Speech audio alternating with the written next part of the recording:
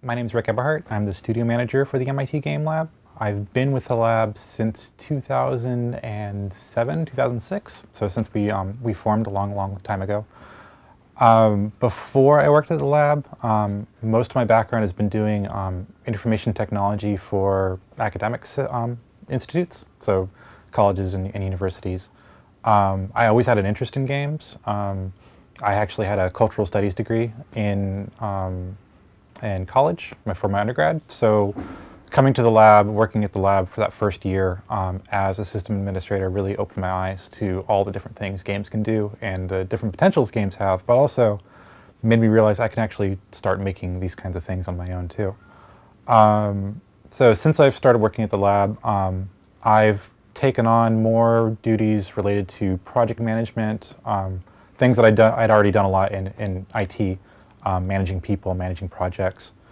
Um, I teach this creating video games course. Um, and for the most part in the course, I'm interested in teaching the project management techniques, but also the, the soft skills and the social skills.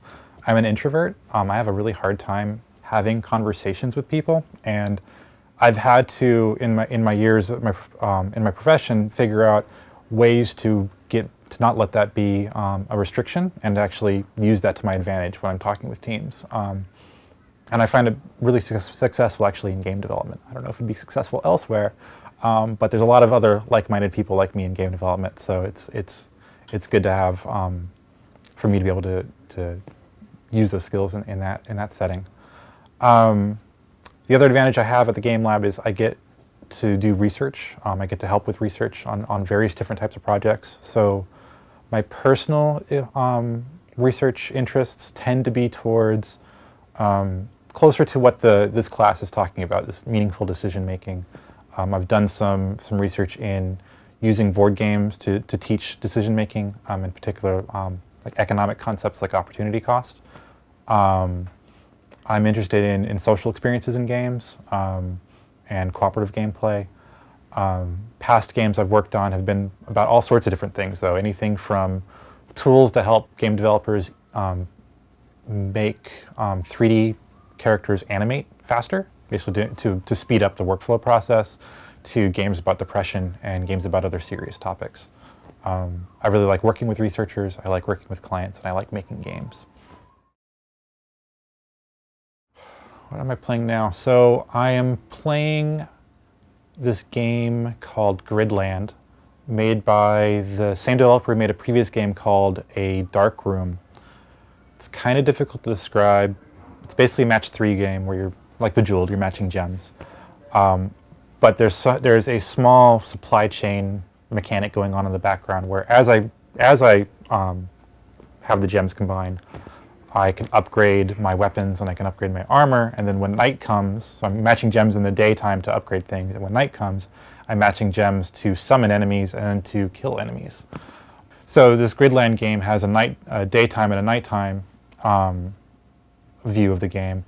And what I find really interesting about it is that all my decisions I make in the day are going to have some kind of influence in my nighttime decisions. Um, so as I make my daytime experience easier, I'm actually making my nighttime experience harder. So it's just a really interesting little um, challenge that the designers put for me to, to, try to solve.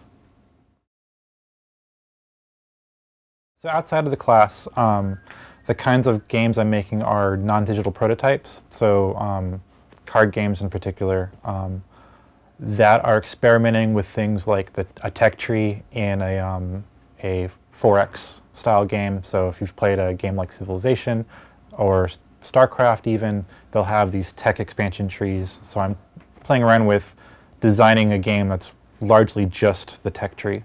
And I'm doing that with a, a coworker here, Drew. Um, I've also got a game I've been working on off and on for the past couple years about managing cities, about three players trying to manage a city, their council people um, trying to convince the mayor about what decisions they should, the mayor should make for the city, but unfortunately the mayor is just the roll of a six-sided die. So you can try to conv convince um, him or her what you want, but it really doesn't matter because mayor's got its own uh, agenda. So then trying to solve the problems with the city while also trying to solve your own personal, um, trying to basically get um, political gain while solving the, the city's problems. There's a lot of different co-op experiences out there from anything from over the table like co-op cooperative board games to couch style co-op in front of the TV. Um, I think, I'm trying to think my favorite co-op experience is definitely not Pandemic, which I think we're talking about in class today. Um, I have a hard, yeah, I have a hard time deciding what my favorite co-op experience is because so often, one of the challenges with co-op games is somebody takes control and somebody says what the whole, uh, everybody on the team is going to do. And unfortunately, I'm one of those people. Uh, if I know the game, I'll start being bossy and I'll take over. And what I'd love to see um, more co-op games do is put in mechanics that prevent me from being a jerk. Uh, or enable other people to override my jerkiness somehow. So the thing I, I, look forward to most in this class every year is the playtest sessions, especially when it's the first time the team has brought the game into the class and they're putting it in front of new users, um, which we only have a couple, a couple opportunities for each project for that to happen in class. After that, everyone in the, in the classroom's seen the game before, so they're not giving the same kind of feedback. Um, and what I really like about it is when the games come in and they just, they just don't work. They're, they're broken horribly. Um, not when it's the technical problems, not when it's the code crashing or if the broken build, that's actually really sad and I hate to see that. But when it's a design issue, when they thought it was going to do this one thing and they see the game doing this other thing or they see the players doing this other thing, it's, that, it's at that point that the students understand that, okay, people are, do people things. Humans are human, right? They, you can't always predict everything that they're going to do um, but also that the systems that they created are actually incredibly complex. So the things that they need to do to fix those systems are going to be reducing mechanics, um, removing things from the game, making it a little bit more simple so that they can predict a little bit better about what's going on.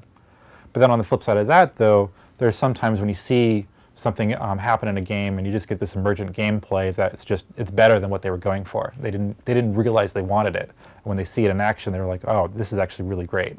Um, what can we do when we're finishing this game to really capitalize on, on this mechanic or this system that we just didn't even realize was there. I really like systems. Um, I, the outside of the class, um, the thing, I think this might be the thing that I actually, I, I, I always had in some capacity, but I really, coming to MIT, working at MIT, it's, it's much more of a part of my life, is seeing the systems or, that surround us. Um, and the systems of history. I've always had an interest in history um, and a little bit of an interest in anthropology. But reading um, Charles Mann's books about 1490, 1491 and 1493, um, what happened during the Columbian Exchange when all of these different ideas and products and agricultural things swapped places from east to west, from China to the Americas to Europe. Um, there's just some really interesting systems, and a lot of the problems that we're facing today are the direct result of that of that um, that that big expansion of ideas and, and trading of ideas.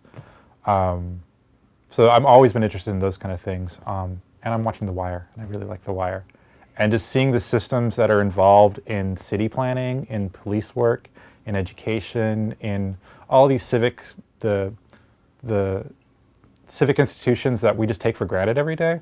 Um, yes, The Wire is a very critical and very pessimistic view of it, but it is uh, a, a, great expression of just how all of these problems are connected. And some of the problems that we're facing right now is just we can't see the connections. Um, and I hope that at least with, with games, um, with playing games, with making games, people can better understand how those, how those systems work. For, for the future of games, games as expressions of systems, um, games as ways of exploring the world around us. Um, we've always, uh, you know, thousands of years ago, we used games as ways to communicate with each other, to have rituals with each other, to, to better connect with each other. And I think we can do that with just games in general, not just video games, but all sorts of different kinds of games. Um, so seeing those kind of, seeing that come back um, to both what people are talking about when they talk about games uh, in mainstream, other than just this thing that's done for fun. It's actually this thing that's very important to, to human daily life, and we've been doing it for years. It's just, it looks different now, but it's still based on a lot of the same things.